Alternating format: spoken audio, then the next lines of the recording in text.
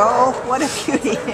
this is Kayla, and Kayla's ID number at the Baldwin Park Shelter is A5008016. She is an altered pit bull, about four years old, and came in as an owner surrender on July 18th. And they brought her in because they'd had her for a year and a half, and after a year and a half, she decided one day to chase their cat. So that was that. They gave up on her. But she, who are you staring at? You did like him, huh?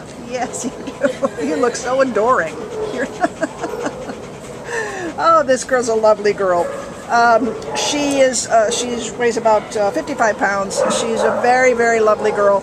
She needs to be with somebody who understands the breed, understands that they're strong, and uh, that sometimes they, they need the attention that you have to give a dog.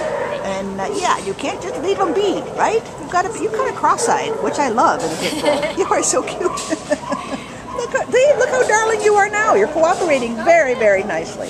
Very nicely, yes. And you're very pretty. Got that really beautiful gray coat, like a sable. Oh, she's a nice dog.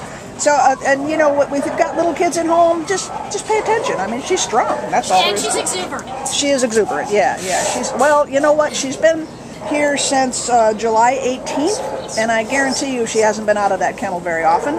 So she's got a lot of pent up energy, I think. And yeah, not, not yeah, now. not now. Can we wait on that, please? Huh? Can? There you go. There you go.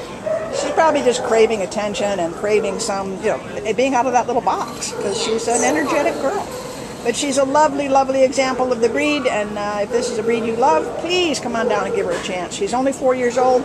She needs a fresh start, and she deserves it because she is beautiful Yes, and lovely. yes. This is Kayla at the Baldwin Park Shelter.